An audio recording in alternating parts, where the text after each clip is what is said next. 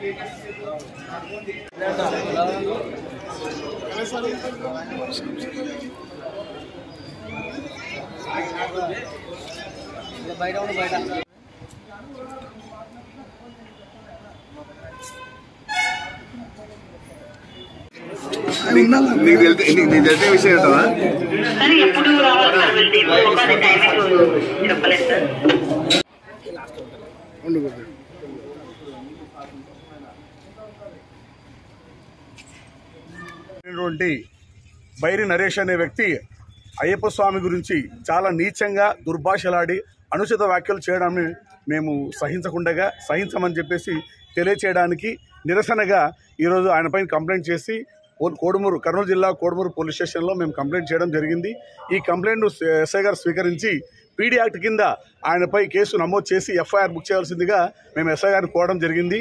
కాబట్టి ఈ విధంగా ఎవరే సరే అయ్యప్ప స్వామి గురించి కానీ హిందూ సమాజం గురించి కానీ హిందూ దేవుళ్ళ గురించి కానీ మతపరమైన వ్యాఖ్యలు ఏదైనా చేసినా అవాక్కులు చవాకులు వెళ్తే ఎట్టి పరిస్థితుల్లో మేము సహించబోమని చెప్పేసి అయ్యప్ప స్వామి రాష్ట్రీయ అయ్యప్ప స్వామి సేవా సంఘం తరఫున మేము డిమాండ్ చేస్తున్నాం. రాష్ట్రము కరీంనగర్కు వికారాబాద్కు చెందినటువంటి బైరి నరేష్ గారు అయ్యప్ప స్వామి గురించి అయ్యప్ప స్వామి గురించి ఆయన అసభ్యకరంగా ప్రవర్తించడము ఆయన యూట్యూబ్లో పెట్టినటువంటి ఆయన మాట్లాడినటువంటి యూట్యూబ్లో ఛానల్లో అన్ని వైరల్ అయ్యి ఈరోజు మేము దాని మీద ఆయన మాట్లాడిన దాని మీద మేము చర్య తీసుకోవాల్సిందిగా కోడుమూరు పోలీస్ స్టేషన్లో కంప్లైంట్ ఇచ్చినాము. అయ్యప్ప స్వామి దేవాలయం తరపున ఈరోజు వచ్చి ఆయన పైన ఎటువంటి కఠిన చర్యలైనా తీసుకోవాలని ఆయనను అరెస్ట్ చేసి ఆయన మీద కఠిన చర్యలు తీసుకోవాల్సిందిగా మేము కోరడం జరిగినది.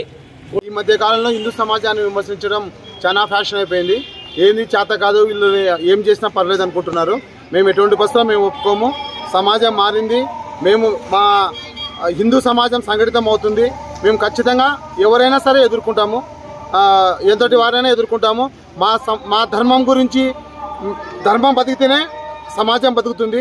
మా ధర్మం గురించి అవాకులు చవాకులు పేలితే మేము ఖచ్చితంగా ప్రతిఘటించి తీరుతాం.